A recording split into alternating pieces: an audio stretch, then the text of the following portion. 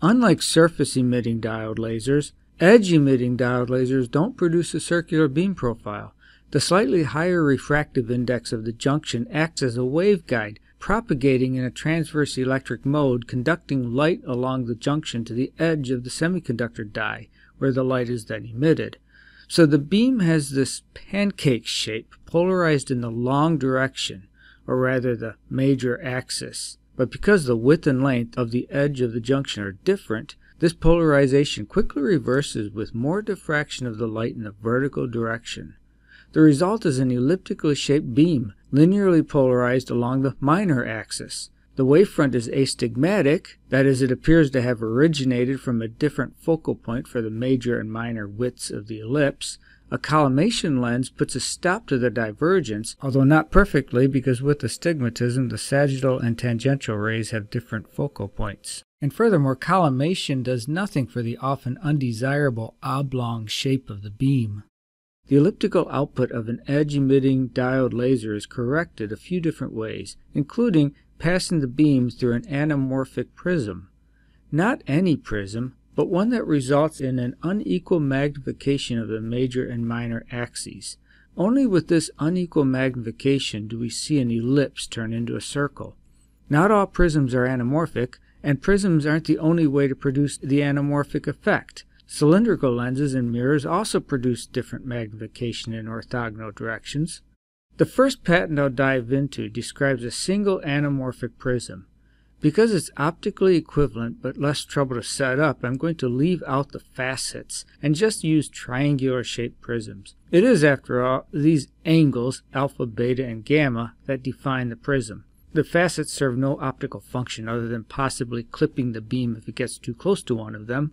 A beam strikes the first surface of the prism at an angle of incidence I sub 1, but this angle is only seen from one direction, above. A viewer located on the side will only be able to measure the 90 degree angle that the beam makes with the surface.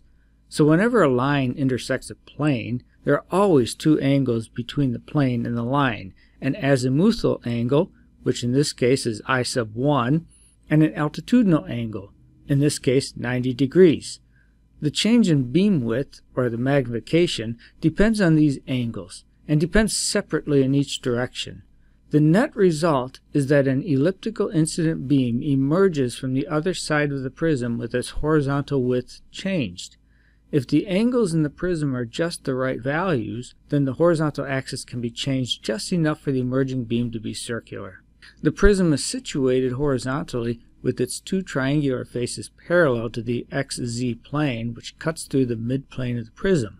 An elliptical beam is incident with its minor axis in the x direction, so the narrow dimension of the beam experiences the skew incident angle, while the wide dimension of the beam experiences a 90 degree incident angle. The beam illuminates the glass the same way that a shadow is cast. On the front entry face of the prism, the narrow portion of the beam now seems wide. The refracted beam proceeds to the back face where total internal reflection sends it to the exit face. Refraction at the exit face produces a horizontal width that happens by design to equal the vertical width. The final result is a linearly polarized circular beam with the polarization direction parallel to the plane of incidence, both before and after passing through the prism. Besides being round, it's often needed for the outgoing to be in the same direction as the incoming and along the same line as the incoming beam, in which case the outgoing beam would be collinear with the incoming beam. The three angles of the prism control the direction of the outgoing beam. They render it parallel to the incoming beam. Where the beam strikes the front entry face determines whether or not the input and output beams are collinear. Suppose a beam is incident at this height. It will propagate through the prism and emerge too high. Suppose it's incident at this height. It will propagate through the prism and emerge too low. Suppose the beam is incident at the mama bear height. It will propagate through the prism and emerge just right. With the three internal angles of the prism set, turning a beam of a certain eccentricity into a circle is a function of the input angle I sub 1, which controls the magnification of the minor width of the ellipse. Remember that the major width is not altered. Its magnification is 1. It's beneficial, if possible, to choose alpha, beta, and gamma such that I sub 1 delivers the desired magnification when it is close as possible to the Brewster angle, because when parallel polarized light is incident at the Brewster angle, there's no Fresnel reflection. The design concept works with a wide range of alpha, beta, and gamma. What's needed is a useful expression for the anamorphic magnification in terms of the prism angles and the incident angle I sub 1. These are things that can be controlled. It will also be useful to know how the incoming and outgoing incident angles are related to the prism. A picture shows why the sum of these two external angles is equal to the prism angle gamma. The horizontal line represents both the incoming and the outgoing beams. This angle shown to the left is 90 degrees plus the angle of incidence, making this interior angle 90 degrees minus the angle of incidence. Likewise, this angle on the right is 90 degrees plus the outgoing angle of refraction, making this interior angle 90 degrees minus that angle of refraction.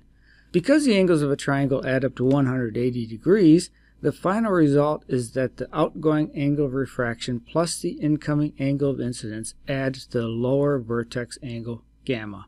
This will be useful for finding the magnification, which describes how refraction influences the width of the refracted beam in comparison to the width of the incident beam. These two lines, which are perpendicular to their respective beams, form triangles with inner angles I sub 1 and R sub 1. Call the edge that is shared by these two triangles h, because it's also the hypotenuse of both triangles. Intuitively, magnification is the ratio of outgoing beam width to incoming beam width, where the widths are readily put in terms of the angles. Cancel the h and you're left with an expression for beam magnification in terms of the incidence and refraction angles at an interface. Apply this expression to the entry point and again to the exit point of the prism. The total magnification of the minor axis is the product of those two magnifications. Reflection off of flat surfaces has unity magnification, so there's no contribution from the back surface. Use Snell's law to rewrite the internal angles in terms of the external angles. Eliminate r sub 2 in favor of the more controllable i sub 1 using the expression up top that we just came up with, and the magnification is finally expressed as this foreboding yet simple expression that only contains the angle of incidence and the vertex angle gamma. The embodiment example in the patent uses these prism angles with an incident angle of 70.7 degrees. The refractive index corresponds to BK7 glass. Run these numbers through the expression and the result is a magnification of the minor axis of 2. Remember there's no magnification of the vertical axis, so if the minor width is half the major width, then an ellipse is turned into a circle by this prism. In order to set up a ray trace, the coordinates of the corners of the prism need to be written down. These facets are needlessly complicated to set up, so I'm going to leave them out and just use the complete triangle. The patent example includes the angles and the glass type. Absent from the description is the actual size of the prism. That's because it's the angles that determine its usefulness as an anamorphic component. It needs to be big enough to capture the entire beam and pass it along. The actual size is up to the designer. I'll use a 6 by 6 millimeter square for the entry face. The angles would dictate the rest. I wrote the prism prescription on this page in my notes. There are six vertices, or corners, and the XYZ coordinates need to be written down for each. I'll arbitrarily put the XYZ origin at the center of the entry face. The X, Y, and Z axes shown here form a right-handed coordinate system. The entry face vertices, numbers 1, 2, 3, and 4, are located with these coordinates. To compute the back vertices 5 and 6, use vertices 1, 2, 3, and 4 and the angles alpha and gamma, and a little trigonometry. Now there are five faces, three side face rectangles, and two top and bottom triangles. This sketch is a top view of the prism. The faces are defined by its vertices. The entry face is bounded by vertices 1, 2, 4, and 3. The order is not accidental. Solid modelers require the vertices to be listed in order, no jaywalking across the shape. The reflection surface in the back is bounded by vertices 1, 2, 6, and 5, and the exit surface is bounded by vertices 3, 4, 6, and 5. The letter R means rectangle and is required in the setup file, as is the zero that trails it, which is a flag to indicate whether or not the surface is reflective. Zero means not reflective. We're relying on total internal reflection for the reflective surface to do its job, and ray tracing software is smart enough to figure that out. The letter T is used to indicate a triangle with the top surface bounded by 1, 3, and 5, and the bottom surface by 2, 4, and 6. Now I'm ready to set up the sequential ray trace. But because there are more than two surfaces in a prism, the rays inside the prism need to be traced non-sequentially, or sequentially with a few coordinate breaks Let's see how that works. We need five objects in the lens data editor. I'll make the third object the stop. That's where the prism will be. So the entrance pupil diameter, I'll make it 0.5. So imagine a half millimeter diameter beam coming in. I'm going to go ahead and set a broad spectrum of wavelengths. The object's at infinity, but I want to be able to see light coming in, so I'm going to have an object of thickness 1 before the prism. And then there's the prism, and that's where we go into mixed mode ray tracing. Type in non-sequential component. Everything has an infinite radius, but there are no curved surfaces. And go into the non-sequential editor in order to put something there. It'll be a polygon object. Okay, right here's the polygon object editor. And we're going to have to start typing. First, few comments. Begin with the front face vertices. This prism has three rectangles and two triangles, and they're defined by including the flag R and then calling out the vertices. R for rectangle, T for triangle. Vertex 1, 2, 4, and 3 makes that rectangle. A rectangle is something that has four vertices, so it may not be a rectangle. And then there are two flags. The first one answers whether or not it's reflective, and I'll just say 0 for no. And the second one is a face type, and I haven't defined any face types in this file, so I'm just going to leave that zero. And the next face, and the next. And then the triangles. T is for triangle, only three vertices. Still have to answer if reflective and face type. And that's the POB file that defines this polygon. It has to be saved, so I'll go up here to File Save. Save as. Let's call it the patent number go ahead and make the material BK7 and you'll notice these errors come up. You'll see why when I go into the layout view. I'll go ahead and enter in a tilt-about Y of 70.7, that's right out of the patent. These X, Y, and Z positions need to be tinkered with, and I'll show you how. Go to Analyze 3D Viewer. Let's look at it from the XZ direction. The entrance port of this non-sequential object is too far to the left. Begin by just moving it in the Z direction. Let's try 10 millimeters. And notice there's no error now. There's a polygon that we drew, the prism. You can see it's a three-dimensional prism. We have light coming in. Now I need to get the beam to continue on its way. Let's just begin by having some bigger clear semi-diameters. At least twice as big as the beam. Make the Z position 3. It's a little more sane, so now it's up close and there's still no beams coming out. The reason why is because the export location non-sequential object isn't on the other side of non-sequential object. Let's go to Lens Data Editor, and you see these exit locations. Exit location for X, Y, and Z. So for Z, oh, let's make it 10. And now we see some lines. The light stops here because there's no image surface for it to go to. You notice how the light is coming out much higher than it's going in. That needs to be adjusted. Float this. And now let's go into the non-sequential editor. And I'm going to change the height of the prism inside of the non-sequential object. Do that by changing the X position. Oh, I think I need to move it in the negative direction. Oh yeah, see now some rays are hitting the image. And now a little more rays are hitting the image surface. And now more, maybe I don't want to do too much more about getting the light to hit this image until I take care of the incoming beam shape. So the light that goes in should be elliptical in shape. And let's take a look at it right now. I'm looking at the XY plane and just looking at surface 1. Instead of XY fan, let's look at a ring.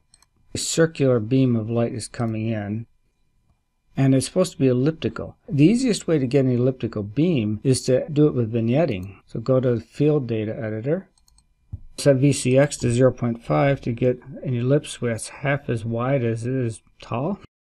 And now it looks right. All the beams are being captured. The anamorphic effect requires that one of the external angles be large, which forces a tight tolerance on the angular positioning of the prism. Let's take a look at the uh, object surface. And we have an ellipse that's half as wide, a minor radius of 0.125 and a major radius of 0.25.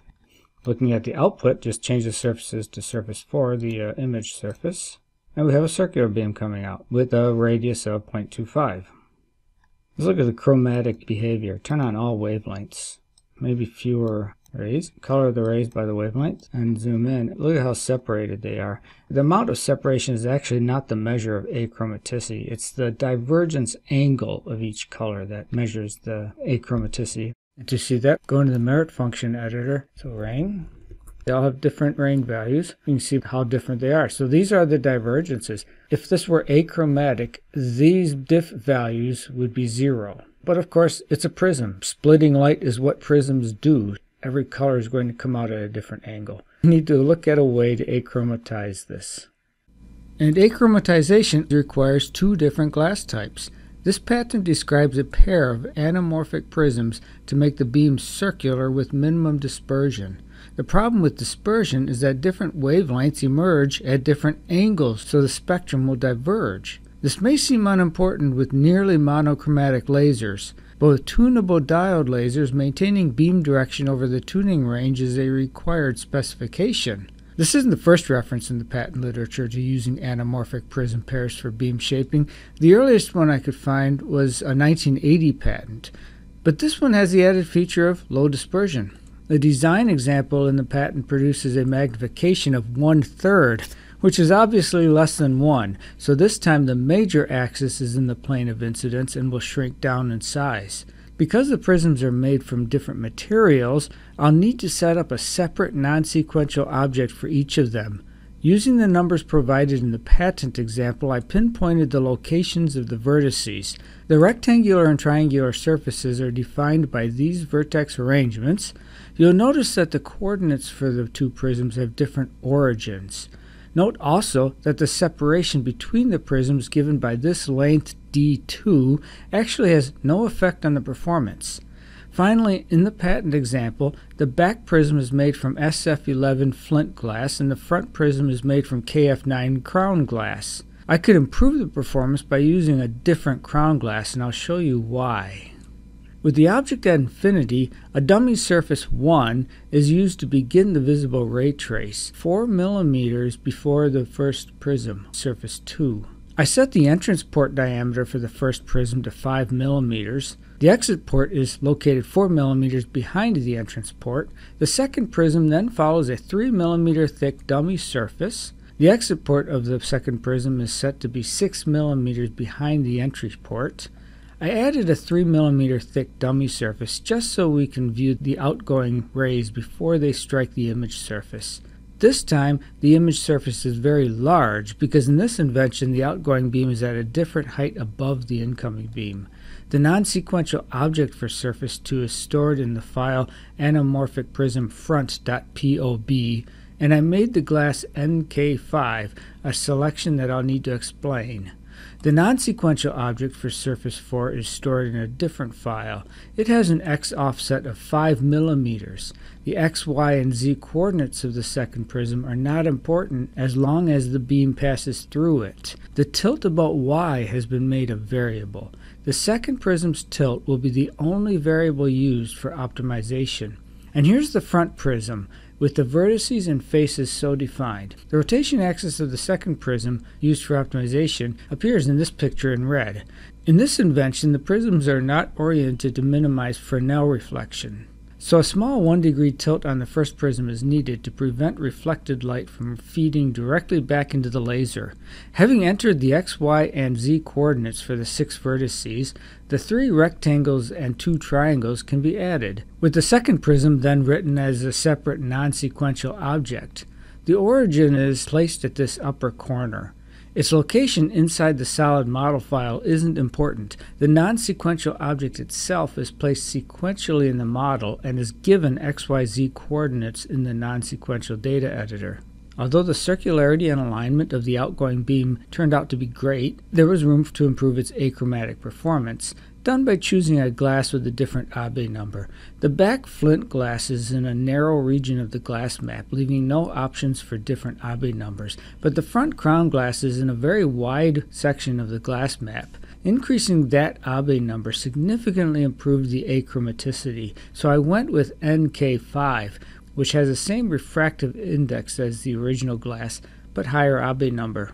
The output is nearly parallel to the input. Some chromatic separation is visible, although it's undetectable by eye in this picture. Each color has a slightly different divergence angle. The outgoing beam is round in this 3D view, rotated around, and you can see the glass prisms in three dimensions, and on the other side we see the elliptical beam coming in. Let me show you what effect X position and tilt about Y has. Changed X position from 5 as I have it set to, I'll say 0. Watch what happens to the prism. 0, that's 1, 3, 5, 7, back to 5. The location doesn't matter so much. If I change it from 5 to 4.4, there's no change in the outgoing beam. Tilt about y will be an optimization variable. Right now it's set to 0 degrees. Suppose it were set to 5 degrees. That's what it does to the prism. Or minus 10 degrees. Try minus 30 because the prism was originally rotated 30 degrees. And there you go. Now it's back to the front face being vertical. And now we'll run optimization. In order to simultaneously improve the alignment of the emerging beam and further improve the achromaticity, I constructed a merit function to calculate the ray angle at the image surface across a wide range of the visible spectrum, much wider than the tuning range of a laser. The value of each ring operated ray angle should be zero, as should the differences between them. These diff operands are the measure of achromaticity. The optimizer will attempt to bring each of them to within plus or minus 1 milliradian. The only variable is the tilt of the second prism about the y-axis. Run local optimization, and the improvement can be noted in reduction of the two larger ray angles, and even more important, these three wavelengths emerge more in the same direction. Still not great, but the tuning range of a laser doesn't require dispersionless transmission over the entire visible spectrum. If I make the back prism out of the same material as the front prism, now the ray angle differences are quite large, 10 milliradians. Making the two prisms out of two different materials definitely helps. The anamorphic performance was good even before optimization, with a magnification of the major width of one third. Although parallel, the outgoing beam is not along the same line as the incoming beam, which is why I chose to use a large image surface in order to capture it wherever it emerged. That was just easier to do than decentering the image surface. A good question is, why use two anamorphic prisms when the previous patent clearly showed that one is enough? One reason is that with two prisms, smaller incident angles are possible, which helps to loosen the tolerances, but the real reason is that two prisms provide versatility. With one prism, only one magnification is possible because only one incident angle produces a parallel outgoing ray. With two prisms, there are two angles that can be adjusted, and a range of magnifications can then be achieved. So custom prism isn't needed for each beam eccentricity. I added two groups of operands that determine the widths of the incoming and the outgoing beams by determining the ray heights for beams from the far edges of the pupil. The difference between those ray heights is the beam diameter, and the ratio of the beam diameters is the magnification. As it is set up, the magnification is 0.3177, or approximately one third. By the way, if you want the magnification to be 3, just switch the side that the incoming beam enters. Let's try a magnification of 1 half instead of 1 third. So change the vignetting factor to 1 minus 1 half. In the merit function, I'll change the desired magnification from what it was to 0.5. And I need to make sure that tilt about y is a variable in both non-sequential components. Run local optimization. And both prisms clearly tilted and we still have parallel light coming out. Now we have a magnification of almost 0.5. Change this weight and run it again. I found that I could vary the magnification from 1 down to about 1 fifth with this particular pair of prisms. Commercially available prisms do offer a larger adjustment range, but that's what I was able to get with this. And then I couldn't get parallel light coming out anymore. Here's a similar invention where the achromatic prism pair is bonded with optical cement. This invention eliminates the step of aligning two discrete prisms relative to each other. The trade-off is losing the degree of freedom that keeps the outgoing beam in the same direction as the incoming beam. And choosing your design is all about trade-offs. Thanks for watching.